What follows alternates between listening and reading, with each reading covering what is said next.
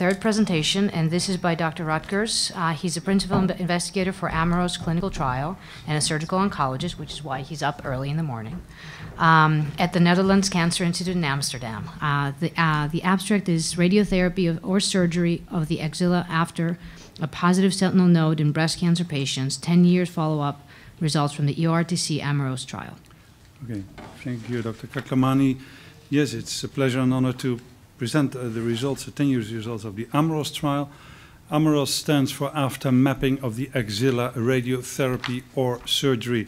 It has nothing to do with bitter, because AMAROS is in Italian, Dr. Dicenzi, means bitter, but it's a sweet trial. So uh, uh, you will understand this later on why I think so. So this is the AMAROS trial, and it is the most important uh, uh, role of, in this trial, of me in this trial was find out this acronym. Um, so uh, I have no disclosures, and the background. Uh, probably you all know what the sentinel node biopsy is. Uh, you know the sentinel node is the, the lymph node most likely to harbor the metastasis, and uh, these lymph nodes can be identified during surgery by using tracers, either radioactive or color tracers.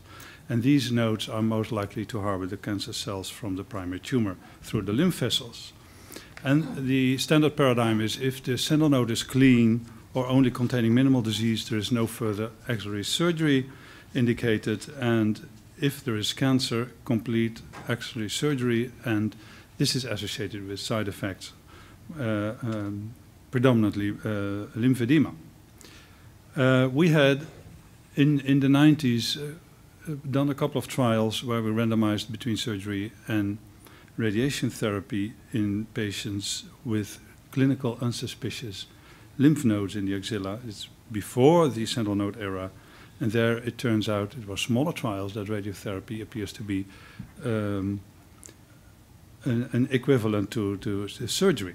So this, uh, this trial started in uh, 2001, were for patients with invasive breast cancer between 5 millimeter and 5 centimeters, uh, clinically node negative either by palpation or ultrasound, and were scheduled for breast conservation or mastectomy and any age, and of course, informed consent.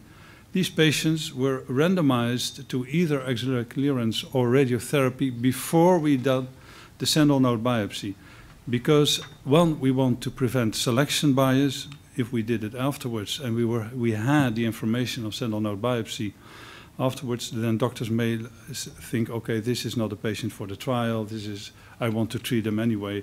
So to prevent selection bias, and secondly, to enable doctors to do an axillary clearance in the same operation for those patients who were randomized to the uh, axillary clearance uh, by doing a frozen section intraoperatively, and patients who were randomized if the sentinel node was positive to clearance, the, we could proceed in the same surgery. So that was the reason. This, this system caused some imbalance in, uh, in the number of patients who had uh, axillary clearance and radiotherapy, you will see later. So we started off with 4,800 patients, and one third of them had a positive sentinel node, and these were randomized between axillary clearance 744 and radiotherapy 681, as I alluded to, this small imbalance in, um, in number of patients.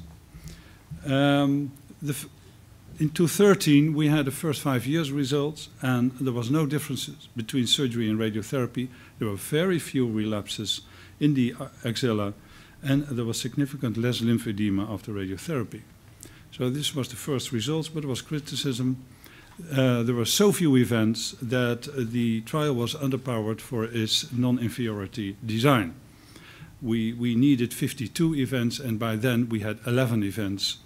And it would uh, take another 30 years to, to come to this 52 events, so we presented as it was, but it was underpowered but it was clinically very nice for the patients, of course, because there were very few events.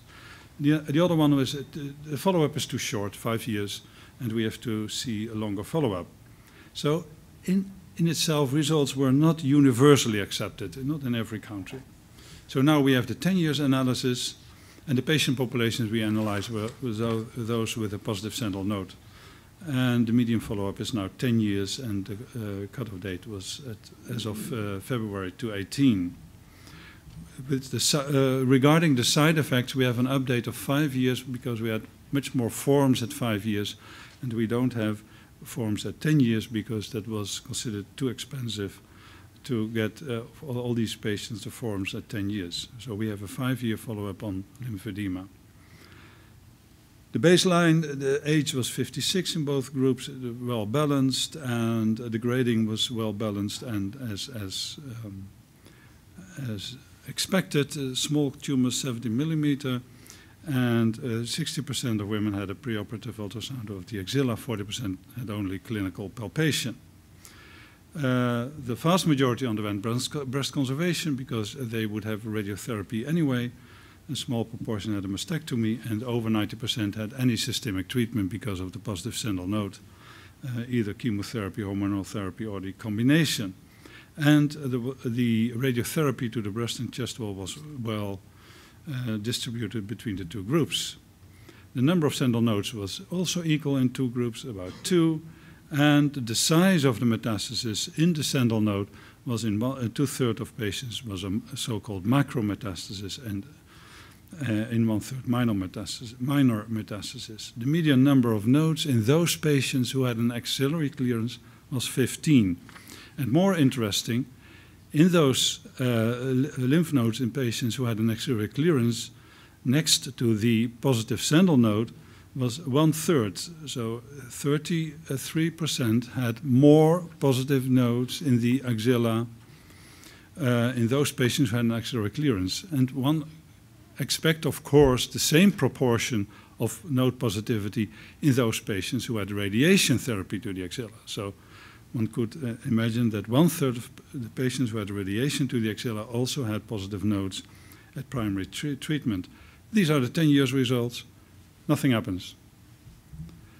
So at five years, in the axillary clearance group, four patients out of 744 had um, an axillary first event, and now it's seven. And uh, the radiotherapy group, it's seven patients, and now it's 11. And uh, uh, you can imagine this is not significant difference, and it is, again, extremely low reoccurrence of lymph node metastasis in this group. And of course, it has no effect on disease-free and overall survival, as you may expect. Um, what we've encountered that there was a small excess of second primaries in the patients who had axillary radiotherapy. And uh, this is to some extent in the contralateral breast cancers and, and other sites, but in itself, the absolute numbers were very low.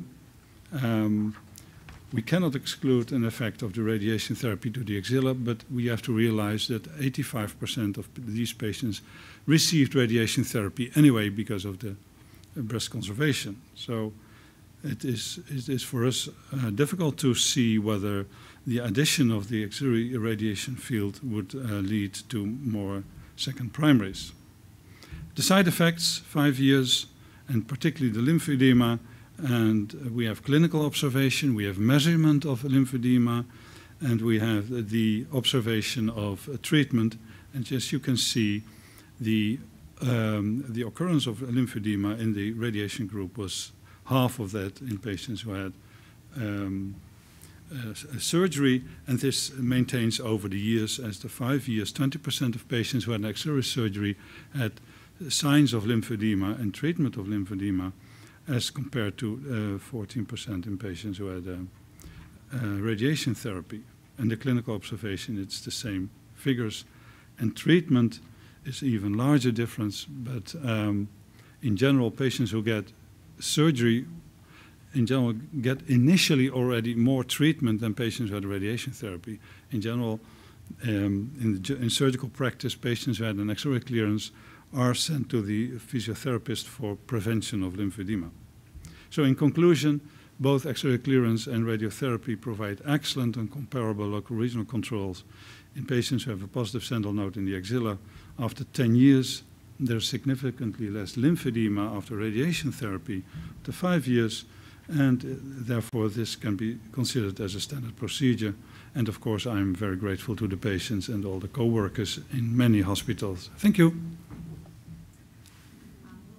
Questions now. Um, my question, so You know, this is now two trials, Z11 and AMAROS, although Yeah. they are different. Three. Uh, three, you're right.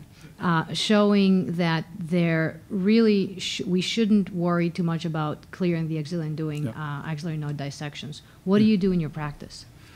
Um, we mix up the results of the Z11 and the AMAROS.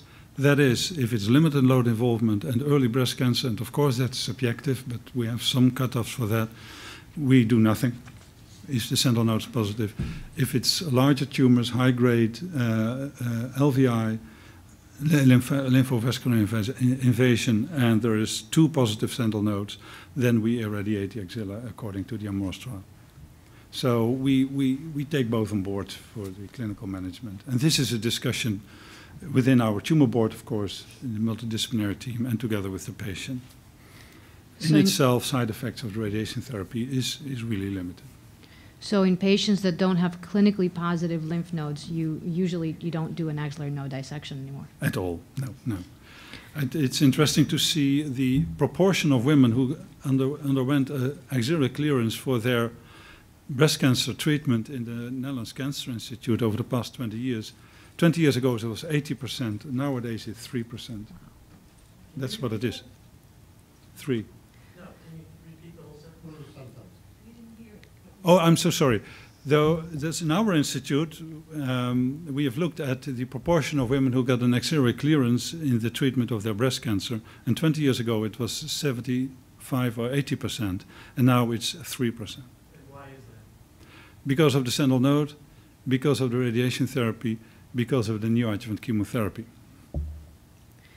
So, in our institute, an axillary clearance is a rare operation for our residents.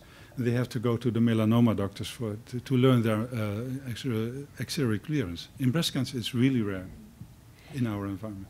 Oh yeah, and uh, I didn't say that the occurrence of lymph node metastasis remains totally the same, one percent a year. It doesn't change at all. And this is really the beauty of this Yeah. this sort of de-escalation in, in therapy, where you're you're you're improving the morbidity of our patients. Our patients have a better quality of life because they don't have as much lymphedema without compromising their outcomes. The chance of them having a local recurrence is very low. So taking 20 and 30 and sometimes 40 lymph nodes out that we used to do, we don't need to do anymore. We would radiate the appropriate patients, and um, and again, their local recurrence rate is very very low. Nick Mulcahy, Medscape. Um, Dr. Kaklamani, if you were to write the conclusion to this study for the publication, well, what would the two or three sentences be? Um, not being a surgeon, um, I, uh, I I'll still venture to, to, to do this. I- To me, it's it's the fact that you are avoiding axillary um, dissections. You're you're decreasing the risk of lymphedema, and at the same time, you're not compromising the outcomes of the patients. The patients are still going to live the same and will have a very low risk of recurrence. You have to find the right patients. If you have a patient that comes in and has a bulky lymph node, uh, and that's not a patient that was included in any of these studies. But the majority of patients that we see with breast cancer have these small metastases uh, to their axillas if they do. And in those cases, doing radiation instead of doing uh, more surgery or not doing anything is very appropriate. Okay, and then one last question, if I may. Um, what's what's current practice in the United States? What are people doing, you know, out at uh, various centers? And I actually would like to, to get the, uh, the European approach as well. And I'll talk about my experience. It's, it's, been, it's been very slow in, in, in, in, in changing our standard, which has been axillary node dissection. And it's longer follow ups from Z11, from AMAROS, that are helping our surgeons cut back on the amount of surgery that they're doing. So I've been surprised because you know these results are, you know, we've had these trials out for 10 years, and and we still are doing more axillary node dissections than we should be doing. But I'd like to get um, everybody else's opinion and also get the European approach. Yeah, well, in um, in Europe there is also differences. Uh, for instance, in in the UK, the trial is repeated to some extent.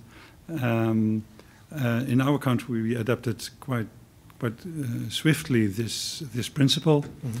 Uh, in Germany as well, there, there, there is difference throughout, and because of the criticism I, I started off with.